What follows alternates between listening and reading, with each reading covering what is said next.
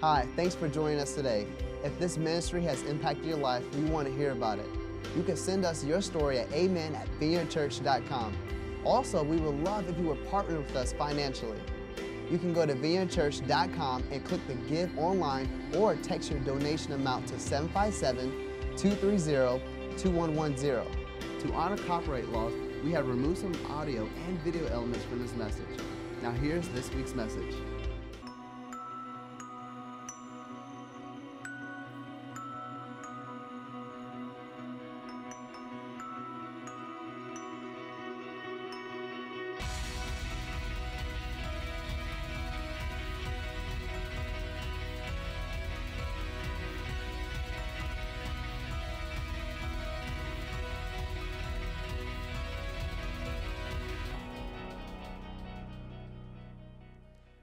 Welcome to Vineyard Community Church. How's everyone doing? You're doing good today? Yeah. Well, I also want to welcome the people watching online. So glad you tuned in, either in the comfort of your house or wherever you may be today. So glad you're uh, with us today. It's always an honor to speak with you guys. I'm so thankful for our senior pastors, Pastor Andy and Sharon Mead, for giving me this opportunity to hang out with you today, okay? So, we have been in a church wide series called Hello, Holy Spirit, where we have been discovering the character of the Holy Spirit. Who is this Holy Spirit, and how do we connect with it? Okay, so a lot of times, you know, when it comes to the Trinity, you know, you got God the Father, God the Son, God the Holy Spirit. See, and when it comes to the Trinity, sometimes like, yeah, God the Father is good. Woo. God the Son, Jesus, yeah, he, he gave his life, yeah. And oh yeah, that that other one, that Holy Ghost, Casper or something, whatever that is, you know? Yeah, it's like, well, what is the Holy Spirit? But we have discovered in this series, in which, if you're new with us today, you can go on our website, vineyardchurch.com, and watch the previous weeks. What we have discovered is the Holy Spirit is vital for the life of a Jesus follower. It's vital for the life of a person. And because of the Holy Spirit, we can connect with God at any day and at any place. So if you are taking notes today, live tweet into at VineyardVA using our hashtag VineyardVA, or if you're following along on your outline, you can title this speech, How Do I Experience, experience You Daily, Holy Spirit? How do I experience you daily? How do we experience the Holy Spirit in our everyday lives? Now, that's a good question. Now, there is something I want to say to start off my message. I believe that Jesus provides the best life possible. I believe when we live for Jesus, He gives us the best life possible. I don't think Jesus came to give us an okay life, a decent life, a just getting by kind of life, but I believe a, a, a life with Jesus is the best life possible. I actually believe the best version of you is found in your relationship with Jesus. It's found in, in what God has for you. See, the problem is this, though. Oftentimes, we do believe in a God, and we will even sing songs to a Savior, but sometimes it gets hard to walk out that life every single day. Sometimes it gets hard to walk out what we know about God every day. Here comes the Holy Spirit. Here comes the job of the Holy Spirit. Now, if people treated the Holy Spirit like they do their smartphones, this world would be a lot better of a place. And your life would be a lot better. See, I can't go anywhere without my iPhone. I take it every single place I go. I feel like weird sometimes if I don't have it. it, it now, it, and it's gotten so bad. Can I tell you how bad it's gotten? It's gotten so bad that I even have my phone on my wrist now. I bought one of those Apple Watches, man. So wherever I go, I got my phone with me. It's, here's one of the worst things that, that happened anytime Erin and I we go to the gym, if we're on our way and we recognize one of us didn't bring our Apple watches, we'll drive all the way back home and get our watch. Because the reason why is if you don't start your workout on your Apple Watch, it feels like you never worked out. it's like, I didn't work out today. My Apple Watch didn't tell me I did. So, I mean, it's that bad. But imagine if people treated the Holy Spirit like that. Like wherever I go, I got to bring the Holy Spirit with me. When I go to my job, I got to bring the Holy Spirit with me. When I go to school, I'm bringing the Holy Spirit with me. When I go to Walmart, I'm bringing the Holy Spirit with me. The truth is, though, if you're going to Walmart, you definitely need the Holy Spirit with you to go to that place. It's a weird place, man. Some weird things happen there. See, Jesus says this about the Holy Spirit in John 14. He says, But the advocate, the Holy Spirit, whom the Father will send in my name, will teach you all things. And check out this and remind you of everything I have said to you. I love how personal the Holy Spirit is described in the same verse in the message version of the Bible. It says it like this in the message the friend. I love it. The Holy Spirit's the friend. The friend, the Holy Spirit, whom the Father will send at my request, will make everything plain to you. He will remind you of all things I have told you. I'm leaving you well and whole. That's my parting gift to you. Now, that's Jesus talking to us. That's Jesus speaking to us. The Holy Spirit has been given to us. So the question that comes how do we experience the Holy Spirit daily? See, I believe the Holy Spirit does speak to us every day. We just have to listen. I actually like to put it like this the Holy Spirit nudges us. The Holy Spirit taps us. It nudges us in our heart, nudges us in our mind and our soul. It's that nudge that the Holy Spirit gives us. Now, I have a story about the nudge of the Holy Spirit in my life that, that just happened, okay? So, Erin and I went on a cruise this past spring for vacation, right? And so, and whenever we do a trip or wherever we go, normally the planning process is like Erin picks everything, and I just say, Yes, babe. that's, that's normally how it goes, okay? Which I'm okay with. So when we got to the Grand Cayman Islands, uh, one, one of the stops, Erin planned a snorkeling expedition, right? Okay, so let me give you a little backstory. Last summer, I just learned how to swim, okay? So I got swim lessons last summer, right? Now, let me let you know where I'm at. I'm, I'm not Michael Phelps, okay? I'm at the level where I'll get into a pool now and be okay. Actually, I'm more like in the level I'm okay with taking a bath now. That's like that's where I'm at, okay? I am not an expert swimmer by no means, all right? So she tells us this is where we're going. So in my head, I'm thinking, okay, well, she knows I'm not a good swimmer, so this must be like some pool where they like put a whole bunch of tropical fish in, and you like just dip your head on her. It's like, wow, I found Dory, you know.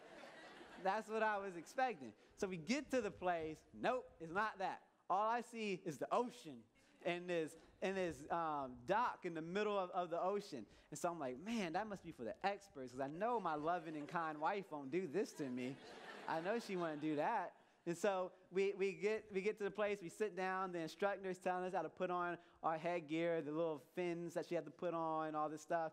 And then the instructor says, All right, now all of us, we're going to jump into the water and swim to, the, to that dock in the middle of the, uh, uh, middle of the water. And as I'm sitting there, I looked at my wife, just really confused. And I, and I said, Is this why you got life insurance on me just recently? like, I didn't really understand. All of a sudden, you said, Hey, we need life insurance. And I'm like, All right. So I, I didn't get it. And then she was like, You can swim. I was like, No, I can't. She's like, You took lessons. I said, Barely. I barely took lessons. What are you talking about? She said, That little girl's doing it. I'm like, I like, don't compare me to her. She's an expert at this. She's been swimming her whole life. I, got my, I got my little fins on. I'm mad as can be right now. Can't believe this. Do you know how impossible it is to be mad at someone when you got those little water fins on? You just flopping around. It's like, the girl, you just wait till we get back to this boat. You won't hear about this. It's like impossible to be mad with some fins on. Try it. But she gets in, Erin goes before me. She gets in the water. I start stepping down the stairs. Each, each step I'm going down, I was like, man, I'm going to die today. This is not good. So finally, I get into the water, and everything my swim coach taught me, totally forgot about it. Didn't remember one thing. Instantly went back to the doggy paddle, like, oh, mm, waves, mm, mm, I can't do it. And I'm like, babe, go on without me. Go on. Get the fish, babe, go. And she's like, okay. I'm like, I'm like, dang, she really did get this life insurance on me for a reason. It's messed up. So she goes on without me. I get back up. I climb back on, on the dock. I'm exhausted. I got my fins. I'm trying to walk. Then the instructor is like, Is everything okay? I'm like, Yeah, I'm okay. And I just said the first thing that popped in my head. I said, I said Yeah, I'm okay. I'm just giving the fish a break. they, they were tired. I'm giving the fish a break.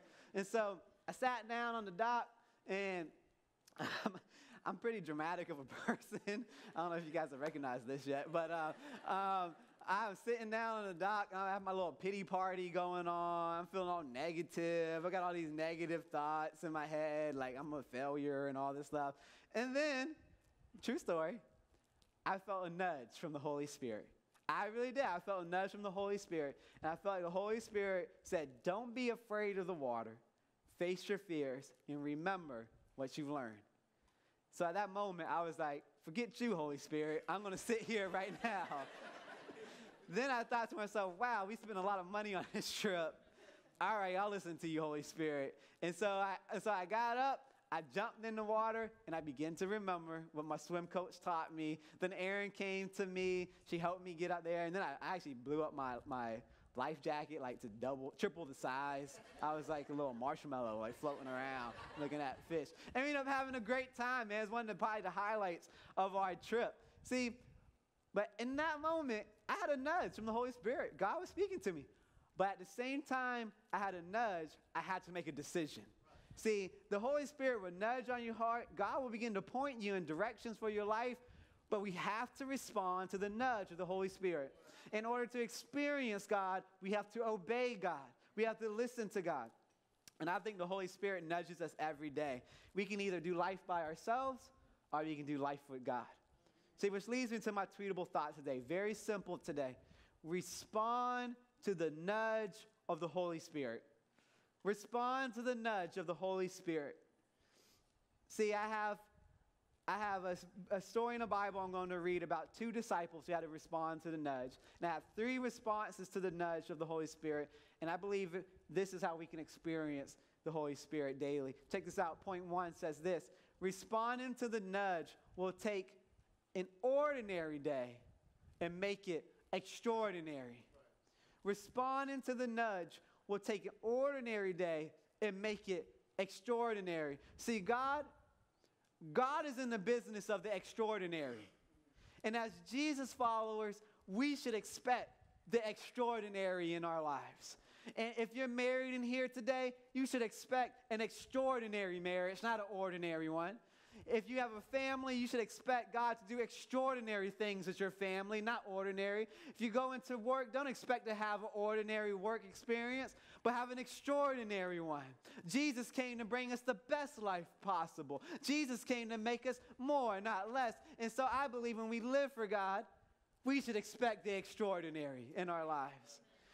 Ordinary and Jesus, eh, they don't go together. See, but check this out. We see this in the first church in Acts 3, starting in verse 1. It says this One day, it says one day. It was just a one day.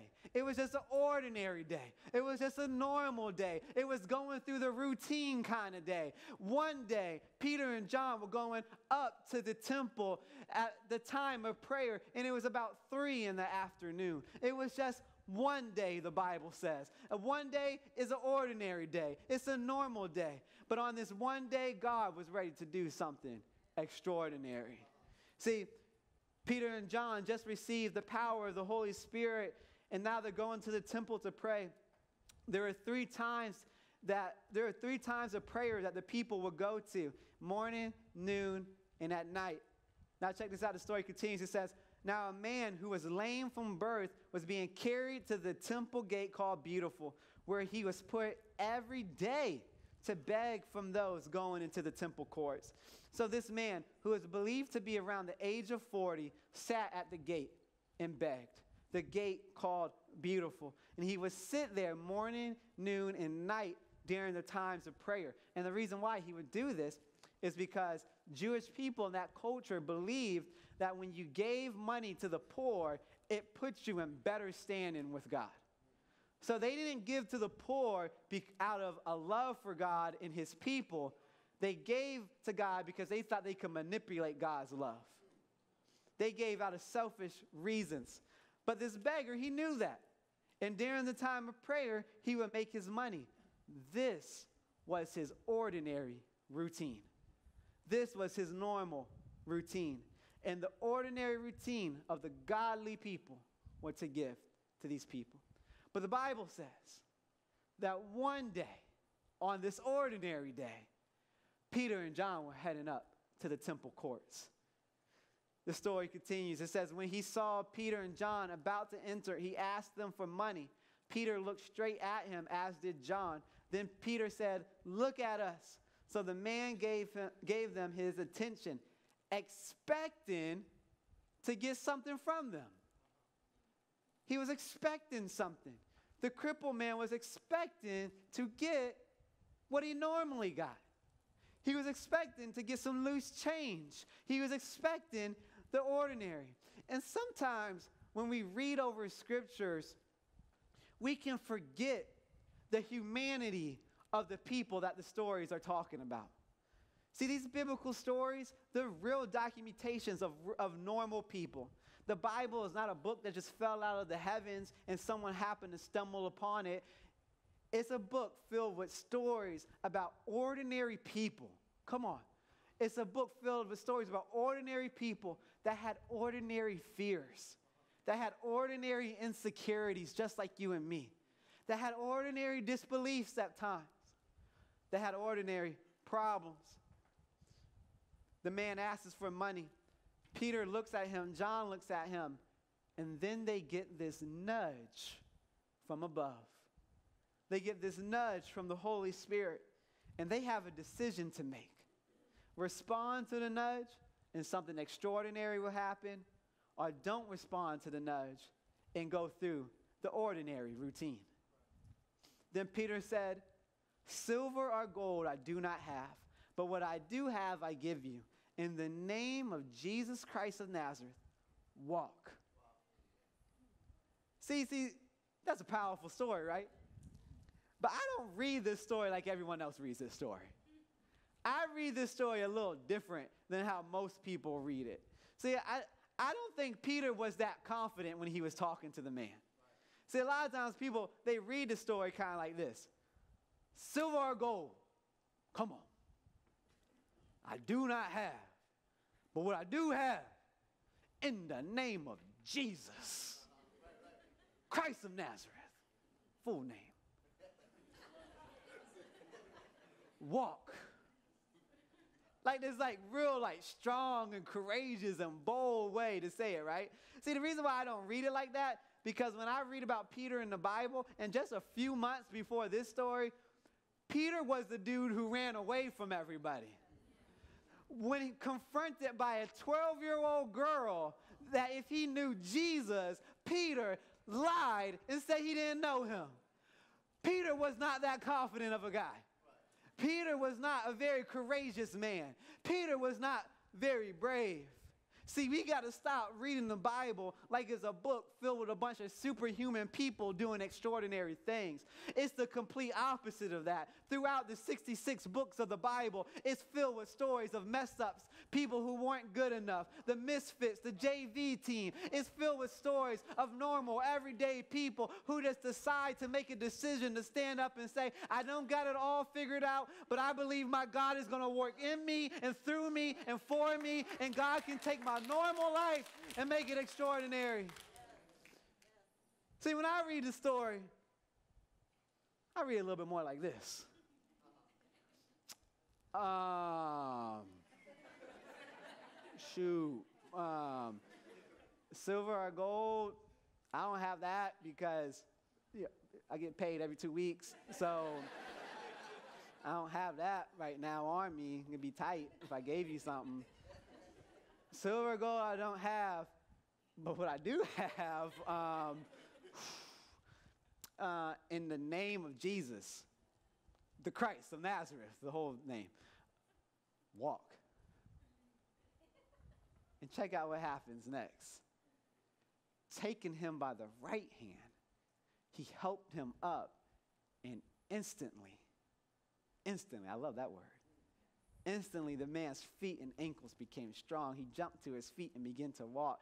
He went with them into the temple courts, walking and jumping and praising God. I love it. See, here's what I want you to get though. Here's the best part it was just a one day. It was just an ordinary day. It was just a normal day. And you're telling me, Pastor Jacob, in my normal, everyday, one day lives, that God can do something extraordinary in my ordinary life? Heck yeah, He can. Because we got the power of the Holy Spirit in us. See, one day can become the day that God moves in your life. One day can be the day that you move closer to the purpose God has for you. One day can be the day that God takes the crippling situations in your life and restores life back to it. One day can be an extraordinary day when you respond to the nudge. Point one, one day. Point one, I'm sorry, responding to the nudge will take an ordinary day and make it extraordinary. Point two, responding to the nudge will give you confidence that God can do it again. That God will do it again. Do it again? Do what again, Pastor Jacob? I'm glad you asked me. I'm about to tell you. See, the Holy Spirit will give you confidence that if God did it once before, I mean, He's faithful to do it again. He's faithful to move again. The Holy Spirit was nudging them to do something extraordinary. But I wonder why Peter moved in this direction. Why would he think to ask this crippled man to walk, to stand up? Now, the verse I read earlier when Jesus was telling us about the Holy Spirit, Jesus said, The Holy Spirit will remind you of everything I have said to you. When Peter and John are looking at this crippled man sitting at the gate, it would have reminded them of an event that they experienced when they were walking with Jesus. In the Gospel of Mark, which was written by the Apostle Peter, there's a story of a blind beggar named Bartimaeus. Jesus was walking with his 12 disciples, Peter and John being among the, the group. There's a crowd of people. The, some people say thousands of people were surrounding Jesus at this point in his ministry. Then the Bible says that blind Bartimaeus was sitting in the street corner, begging in his ordinary spot. Sounds familiar, right? He's doing his ordinary thing, and he hears that Jesus is walking by, and then Bartimaeus cries out to Jesus with this interesting phrase. He says, Son of David, have mercy on me. Now, the phrase son of David was more than just a genealogy statement. It was a statement that the Jewish people would say about the coming Messiah that the son of David was to come. When people referred to Jesus as the son of David, they meant that he was the long awaited deliverer and fulfillment of the Old Testament prophecies. See, Bartimaeus made this connection about Jesus. This guy, this guy is my savior. But check out the funny part that happens. Bartimaeus cries out, Son of David, have mercy on us. And then the Bible says the disciples try to shut him up try to tell him to be quiet. And just when you read about Peter and knowing the character of Peter, I wouldn't be surprised if Peter was one of the people that was trying to tell him to shut up the most. But then Bartimaeus cries out all the louder and gets Jesus' attention. Check this out in Mark 10, it says this Jesus stopped and said, Call him. So they called the blind man. Cheer up on your feet, he's calling you. Throwing his robe aside, that's important. Throwing his robe aside, he jumped to his feet and came to Jesus. Check this part out. What do you want me to do for you? Asked Jesus. Imagine if Jesus was to ask you that question today, what would you say? What do you want me to do for you? Do you want me to give you just some loose change in my pocket? What do you really want? What does your soul really want? What are you really looking for in this life? Bartimaeus, confronted by this question from Jesus, replies with the most purest thing that he could think of. So I, I, just want to see. I want to see, Jesus. I want to see. Go, Jesus said. Your faith has healed you. Immediately, instantly, immediately, I like these words. Immediately, he received his sight and followed Jesus along the road. So here's a story about Jesus meeting the need of a beggar. And it says that he throws off his robe and he jumps to his feet. Now, why is that significant? Why is that important? See, in that culture, Jewish people, when they gave to the poor, they didn't want to give to a scam artist. So, in order to figure out who they were actually given to, they would certify poor people. And they would put a robe on them so they would be known as certified poor. So instead of caring for the poor, they label the poor because they thought it made God love them even more. So when Jesus calls this man, when Jesus calls Bartimaeus, it says he put his robe off. He took his robe and threw it to the side because it's kind of like when Jesus calls our name, when Jesus calls us close to us, the insecurities and the labels that the world puts on you, oh, you just got to throw them off. You just got to throw them off. But here's the best part of the story, too. This dude's blind. He can't see what's in front of him. But he walks to Jesus based on Jesus calling him near. Friends, you may not always understand what Jesus is doing, but when he nudges you, when he calls you, even when you can't see everything that's happening, just walk towards him. Because when you walk towards him, he's not going to give you the loose change like the world is trying to give you. He's going to ask you the question, What do you really want? And he's faithful to give it to you. If you're Peter and John, this story will pop in your head. When you're, when you're standing at the gate called Beautiful looking at this crippled man, you would think of this story when God healed Bartimaeus. Because if God did it to Bartimaeus, God will be faithful to do it again to this man. Peter began to think if, if, if God did it once, he'll do it again. And you may be in here today and you're looking around your life situations and you're thinking to yourself, is my marriage ever going to walk again? Is my family ever going to get right? Am I going to be able to make it in this job or will I ever live out my dreams again? Will I ever get out this debt? And I just want you to know something with some faith today. If Jesus healed the beggar before, he'll do it again. If Jesus has fixed marriages before, guess what? Your marriage isn't too far gone.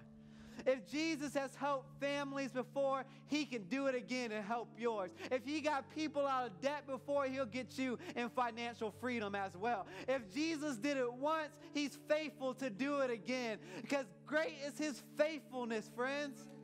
If he did it once, he'll do it again. And our confidence does not come from the things around us, but our confidence should be connected to a God that is bigger and greater and stronger than the temporary problems of this world. Colossians 3 says this Since then, you have been raised with Christ. Set your hearts on things above, where Christ is seated at the right hand of God. Set your minds on things above, not on earthly things. Friends, even if everything around you looks like it's not going the way you want it, set your heart and mind on Christ, and He'll take your set, setbacks and use that for your biggest setups in life to move you forward. See, the Holy Spirit will remind you of who you are in Jesus. The Holy Spirit will remind you that if God has done it before, He's faithful to do it again. Point one, responding to the nudge will take an ordinary day and make it extraordinary. Point two, responding to the nudge will give you confidence that God will do it again. And my third and my final point today is this responding to the nudge will allow you to see daily miracles. Responding to the nudge will allow you to see daily miracles.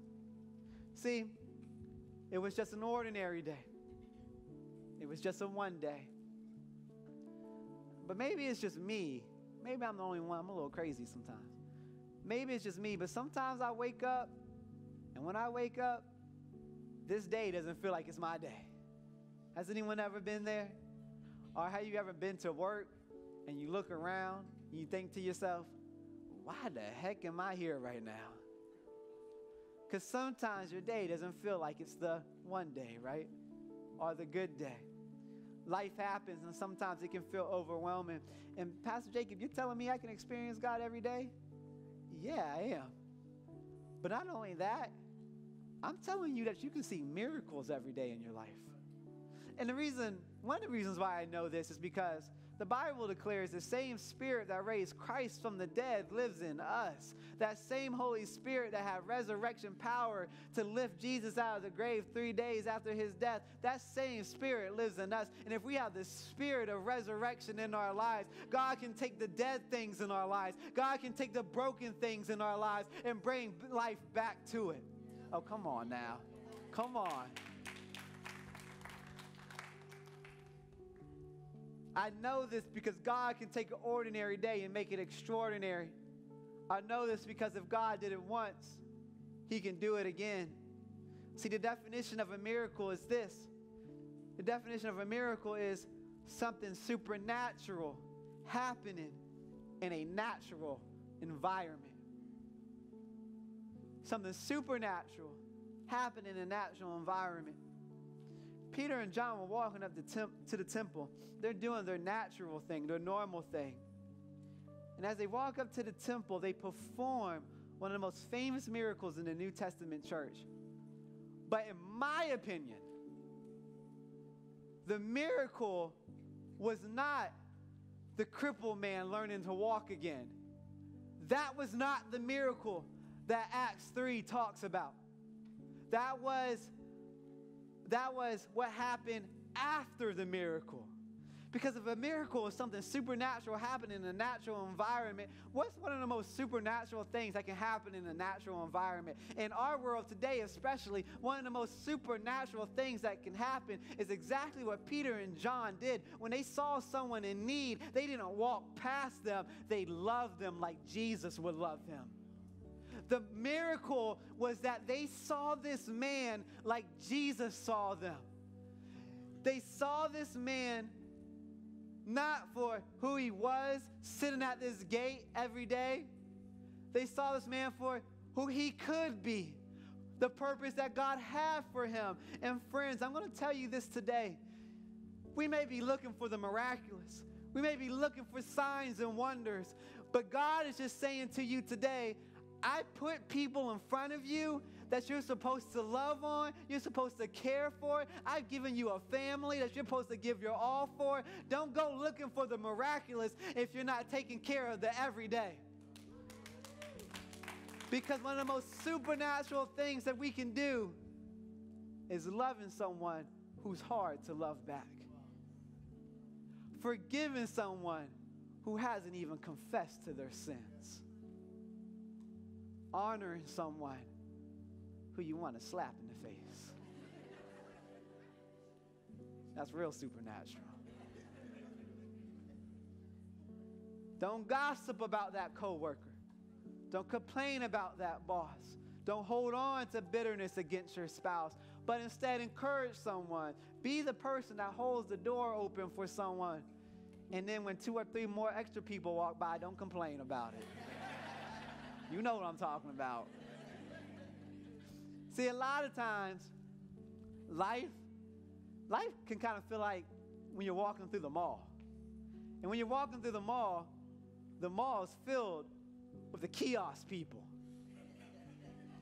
And the kiosk people, they make life uncomfortable. And if you're a kiosk person in here, I want to let you know you make life uncomfortable. They're always trying to sell their arrangements of cell phone covers. We don't want them. They're doing the crazy eyebrow thing, like, wow, that looks like that hurts. You're, you're cutting someone's eyebrow with floss. I don't know what's happening.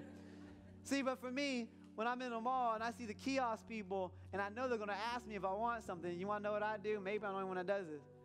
I pull out my phone and act like I'm like very like intensely doing something on my phone. And when I'm walking past them, I act like I can't hear them because I'm on my phone. Like, hey, what you saying? But the truth is, I'm doing nothing on my phone. I'm not, I'm not doing anything. But isn't that such a great picture of life? God has put people all around us who need what we have. But instead of meeting the needs of the people around us, we get so caught up in self centered things that we miss the people all around us. Oh, come on. Come on. Sometimes we get so focused on our own thing that we miss that our coworker just needs someone to encourage them and love them because we got the same spirit that raised Christ from the dead. And when we bring that spirit to work, when we bring that spirit to our schools, to our families, to the communities, to the environments that God has placed you in, and when you let that thing breathe and touch people all around you, it will begin to change the environment all around you. Instead of waking up on Monday dreading that you have to go to work, it's an opportunity to spread the love of God. Instead of waiting for the weekend, you, you're excited through the week because God's going to use you on your normal day, on your ordinary day, on your one day. Taking him by the right hand, he helped him up. Instantly, the man's feet and ankles became strong. Peter grabbed him by the right hand. The man spent his whole life begging from one place to the next. Then the Bible says he grabbed him by the right hand. The right hand represented the hand of blessing in that culture. Peter grabbed him by the right hand, symbolizing that God is ready to bless you and lift you back up on your feet. Friends, who are we grabbing by the right hand? Who are we lifting up and reminding them? Come on, reminding them that God is not done with you yet. I got, I just got one more thing I gotta say. It ain't on my notes. I just gotta say this.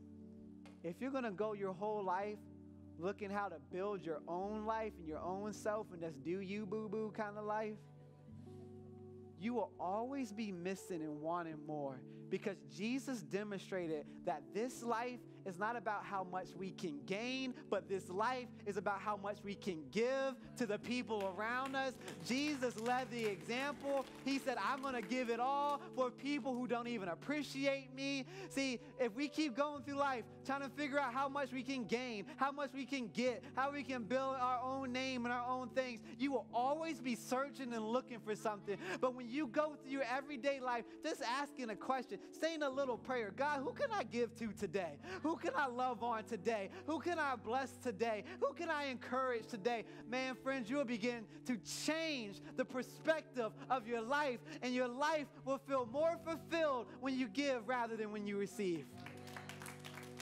Who are we blessing? Who are we loving? If this gospel story is everything that we think it is, oh, it should motivate us to love this world to no ends. Are we going to let the news take speak the loudest? Are we going to let cultural problems speak the loudest? Are we going to let the truth, the truth that God so loved the world that he gave his one and only Son, that whoever believes in him shall never perish but have everlasting life? Are we going to let that truth be the thing that we spread every day? He jumped to his feet and began to walk. Then he went with them into the temple courts, walking and jumping and praising God. I like this part right here. Check this part out. When all the people saw him walking and praising God, they recognized him as the same man who used to sit begging at the temple gate called Beautiful. And they were filled with wonder and amazement at what had happened to him. See, not only did Peter and John change this man's life, but they changed the lives of everyone around him. When we respond to the nudge, miracles can happen. Here's one good news, one good truth about this gospel everyone gets to play. Everyone has the Holy Spirit in them, and God will use you. Just respond to the nudge. Bow your heads with me. Let's pray. God,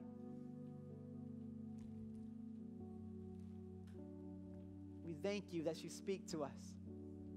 God, we thank you that you're alive and active.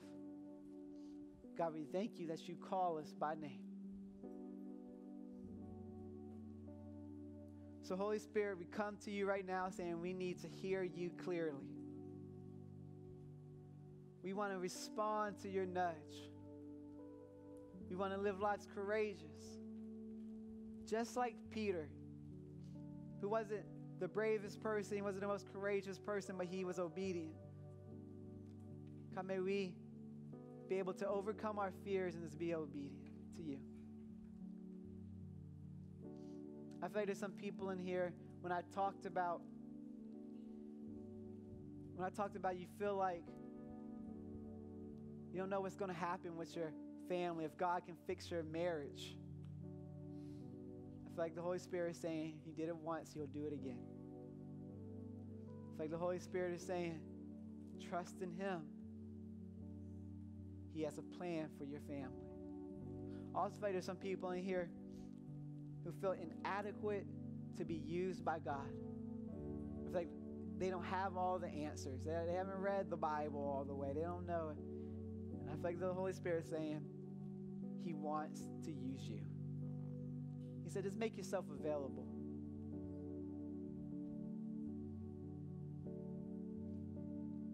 I also feel like, yep, there's some people who are having a hard time being confident in God. How can I be confident in God? I don't necessarily see Him. Where is He? I feel like the Holy Spirit is saying, just put your trust in me, put your hope in me, and watch what I will do for your life. You may be in here today and you never made a decision to trust Jesus with your life. Never made a decision to follow Jesus you're like, Pastor Jacob, that's a good message. I want to follow that Jesus you talked about. I'm going to pray a prayer, and I'm not going to call you out or embarrass you, have you come up front, nothing like that. Right where you are, you can say this prayer with me and ask Jesus to come into your life. Maybe you've said that prayer before, but life kind of got in the way, and you're saying, I want to make that decision again. I want to follow Jesus again. You can, you can repeat this prayer with me right where you are. Just say, just say right where you are, say, Jesus, forgive me for my mistakes. I receive your love. I receive your grace. Today I follow you. Today I trust in you. In Jesus' name, amen. Amen. Thanks for listening to this week's message. We hope you enjoyed it. Don't hesitate to write us your story at amen at vineyardchurch.com and we'll see you next week.